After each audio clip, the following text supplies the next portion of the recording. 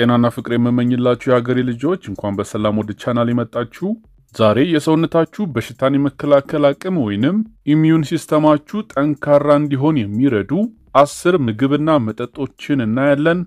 ሁላችንም እንደምናውቀው ያለነው በከባድ የወረርሽኝ ወቅት በመሆኑና በማንኛውም ጊዜ ለተለያዩ ቫይረሶች ተጋላጭ የምንሆንበት እድል ስለሚፈጠር ጥንቃቄ ከማድረግም ባለፈ የሰውነት በሽታ የመከላከል አቅምን ማጎልበት በጣም አስፈላጊ ነው።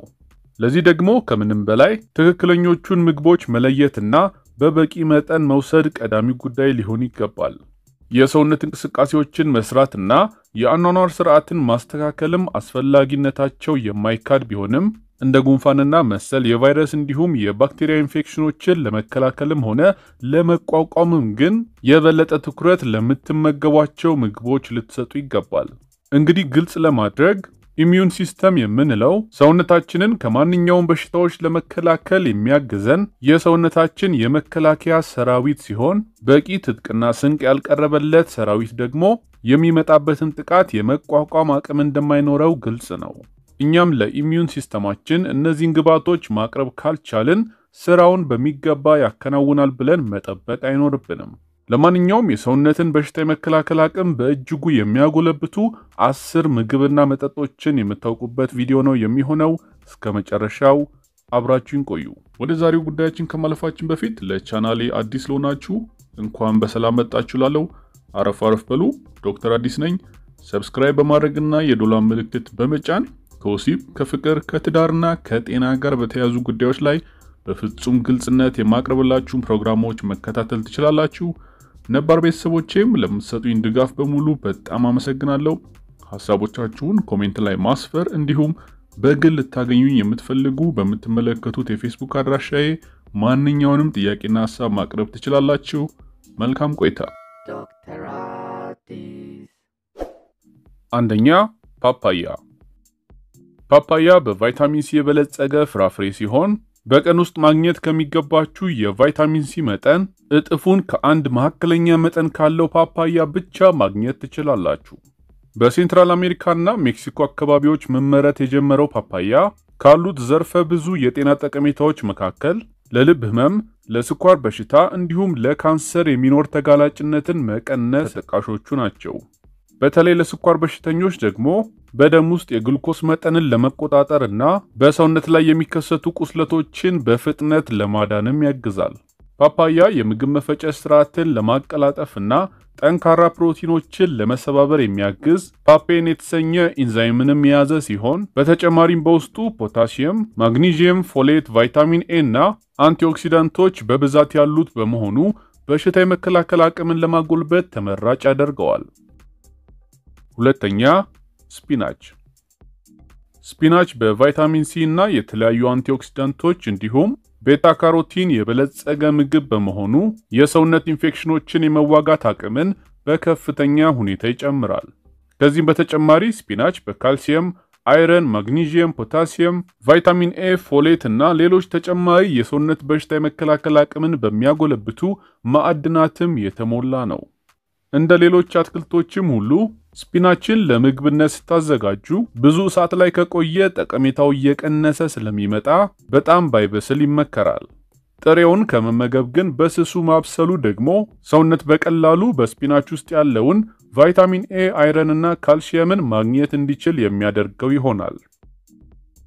ሶስተኛ ነጭ ሽንኩርት በሽታ የመከላከል አቅምን ስለማጎልበት ከተነሳ በግንባር ቀደምነት ከሚጠቀሱት ምግቦች ውስጥ አንዱ ነጭ ሽንኩርት መሆኑ ሳይታለም የተፈታ ነው።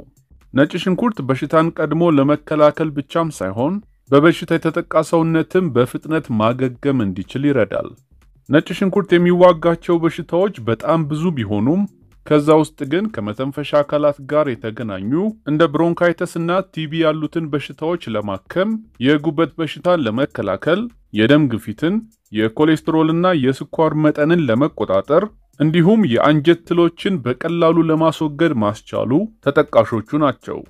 እዚህ ጋር አንድ መገንዘብ ያለባችሁ ጉዳይ ጥሬና የበሰለ ነጭ ሽንኩርት ያላቸው የጤና ጠቀሜታ ፈጽሞ የማይወዳደር መሆኑን ነው። ለጤና እስከተፈለገ ድረስ ሁሌም ነጭ ሽንኩርት ጥሬውን መወሰድ ይኖርበታል። በወጥ ውስጥ ሲጨመርም ከጣዕም ያለፈ ጥቅም እንዲኖረው ከተፈለገ መጨረሻ ላይ በመጨመር ብዙ ሰዓት ሳይነካው ማቅረቡ ይመከራል። አራተኛ ብሮኮሊ በቫይታሚን ኤ፣ ሲ፣ ኢ እንዲሁም በፋይበር እና የተለያዩ antioxidant ኦች የበለጸገው ብሮኮሊ በቀላሉ አዘጋጅታችሁ ልትመገቧቸውና የበሽታ መከላከል አቅማችሁን ሊያጎለብቱ ከሚችሉ ጠቃሚ ምግቦች ውስጥ አንዱ ነው። 100 ግራም ከሚሆነው ብሮኮሊ ከ9 ግራም በላይ ቫይታሚን ሲን ማግኘት የሚቻል ሲሆን ይህም ከብዙዎቹ የሲትረስ ፍራፍሬዎች የበለጠ መሆኑን መረዳት ያስፈልጋል። ያለውን የጤና ጠቀሜታ ላለማጣት በተቻለ መጠን በትንሹ ብቻ ማብሰል የሚያስፈልግ ሲሆን ካሉት የአሰራር አማራጮች ውስጥ ደግሞ በስቲም ወይንም በእንፋሎት ብቻ ማብሰሉ በብሮኮሊ ውስጥ ያሉትን ንጥረ ነገሮች በበቂ ሁኔታ ለማግኘት ይረዳል። አምስተኛ ዝንጅብል። ሌላው ብዙዎች ለዘመናት የተለያዩ በሽታዎች ሲያጋጥሟቸው ቀድመው ከሚያስቧቸው መፍትሄዎች ውስጥ አንዱ ዝንጅብል ነው። ዝንጅብል ግን ከዚህ በፊትም እንዳልኩት በሽታ ሲይዘን ብቻም ሳይሆን ቀድመንም ልንወስዳቸውና በሽታ የመከላከል አቅማችንን በከፍተኛ ሁኔታ ከሚያሳድጉት ተፈጥሯዊ አማራጮች ውስጥ ዋነኛው ነው። ዝንጅብል ካለው ከፍተኛ የአንቲ ኢንፍላማቶሪ ይዘት የተነሳ በተለይ በመተንፈሻ አካላት ላይ የሚፈጠሩ እብጠቶችን በፍጥነት ለማስወገድ እንዲሁም በመገጣጠሚያዎች ላይ የሚደርስ ህመምን ለመከላከልና ለማከምም ይጠቅማል። በተለያዩ ምክንያቶች የሚከሰት ማቅለሽለሽና ማስመለስንም ለመቀነስ ፍቱን መፍትሄ ነው። አንዳንድ ጥናቶች እንደሚያሳዩትም ዝንጅብል የካንሰር ሴሎችን በመዋጋት ካንሰርን የመከላከልና የመቋቋምን አቅም ይጨምራል። ስድስተኛ የሱፍ አበባ ዘሮች። sunflower seeds ወይንም የሱፍ አበባ ዘሮች በፎስፈረስ፣ ማግኒዥየም፣ ቫይታሚን ኢ፣ copper፣ iron፣ zinc እና በቫይታሚን ቢ6 የበለጸጉ ሲሆኑ የበሽታ መከላከል አቅምን ለማጎልበትም በጣም ጠቃሚ ናቸው። ከዚህም በተጨማሪ የሱፍ አበባ ዘሮች ስሌኒየም የተሰኘውን አንቲኦክሲዳንት የያዙ ሲሆን በደም ዝውውር ውስጥ የዚህ ንጥረ ነገር መጠን መጨመር ደግሞ የሰውነት በሽታ የመከላከል አቅምን በፍጥነት ያሻሽላል። 25 ግራም የሚሆን የሱፍ አበባ ዘር በቀን ውስጥ ከሚያስፈልጋችሁ የስሌኒየም መጠን ውስጥ ግማሹን ለማግኘት ያስችላችኋል። ሰባተኛ citrus fruits። citrus fruits እንደ ሎሚ፣ ብርቱካንና መንደሪን ያሉ የተለያዩ ፍራፍሬዎች ጥቅል መጠሪያ ሲሆን ሁሉንም አንድ የሚያደርጋቸው ደግሞ ያላቸው ከፍተኛ የቫይታሚን ሲ ይዘት ነው። የበሽታን የመከላከል አቅም በማጎልበት ረገድ የቫይታሚን ሲን ያክል ዋጋ ያለው ንጥረ ነገርን መጥቀስ የሚከብድ ሲሆን በቂ ቫይታሚን ሲን ማግኘት የቻለ ሰውነት በሽታን በቀላሉ የመቋቋም አቅሙ ከፍተኛ ይሆናል። እርግጥ ብዙዎች ጉንፋንም ሆነ መሰል ከመተንፈሻ አካላት ጋር የተገናኙ ህመሞች ሲያጋጥማቸው በፍጥነት እንደ ሎሚና ብርቱካን ያሉ ፍራፍሬዎችን የሚወስዱ ቢሆንም የሚሰሩት ግን አንድ ስህተት አለ። ይኸውም ሎሚም ሆነ ብርቱካንን እያፈሉ የመጠጣት ልማድ ነው። ሌሎች ትኩስ ነገሮችን መውሰዱ መልካም ቢሆንም የቫይታሚን ሲ ይዘት ያላቸው ፍራፍሬዎችን ማፍላት ግን ጠቀሜታቸውን በእጅጉ ስለሚቀንሰው በተቻለ አቅም እንዲሁ ፍራፍሬዎቹን መጠቀሙ ይመከራል። ስምንተኛ green tea።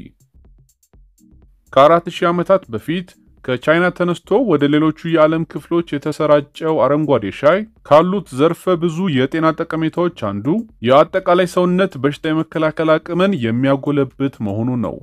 አረንጓዴ ሻይ በሽታ አምጪ ኢንፌክሽኖችን በሚዋጋው flavonoids በተሰኘው antioxidant የተሞላም ሲሆን የመድኃኒትነት ባህሪ እንዲኖረው የሚያደርገው ደግሞ EGCG የተሰኘው ንጥረ ነገሩ ነው። በየቀኑ አረንጓዴ ሻይን መጠጣት ክብደትን ለመቆጣጠር ከማስቻሉም ባለፈ ለስኳር፣ የልብ ህመምና ካንሰር የሚኖር ተጋላጭነትንም ይቀንሳል። ዘጠነኛ ቃሪያ። ቃሪያ ባለው ከፍተኛ የቫይታሚን ሲ ይዘት የተነሳ የሰውነት በሽታ የመከላከል አቅምን ከሚያጎለብቱት ምግቦች ተርታ ሊሰለፍ ችሏል።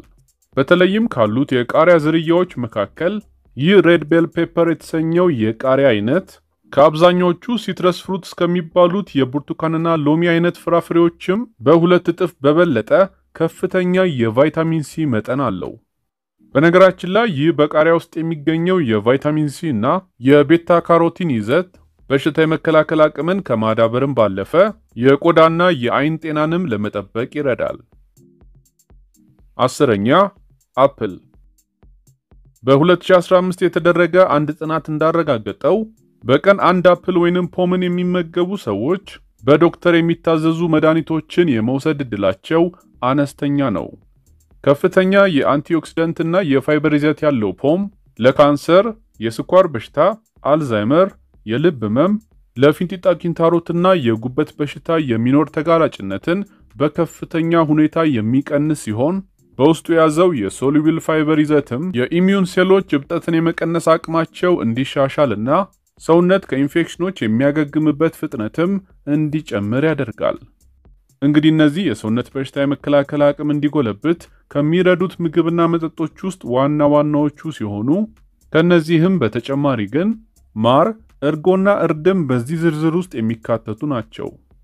እንግዲህ መግቢያ ላይ እንዳልኩት በተለይ በዚህ የወረሽኝ ወቅት የሰውነት በሽታ የመከላከል አቅምን ጠንካራ ማድረግ አማራጭ የሌለው ጉዳይ በመሆኑ በ24 ሰዓት ውስጥ ከበቂ እንቅልፍና ውሃ ጋር እነዚህን ምግቦች በተቻለ አቅም በመውሰድ ሰውነት ሁሌም በሽታዎችን ለመመከት ዝግጁ እንዲሆን ማድረግ ተገቢ ይሆናል።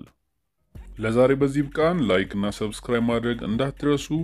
ጥያቄ፣ ሀሳብ፣ አስተያየቶቻችሁን በ comment ላይ ማስፈር ወይንም በፌስቡክ አድራሻ ላይ መላክ ትችላላችሁ። በቀጣይም በተመሳሳይ ከወሲብ ጤና፣ ትዳርና ፍቅር ጋር የተያያዙ ጉዳዮችን በፍጹም ግልጽነት እንነጋገርባቸዋለን። ራሳችሁን ጠብቁ። Tchau.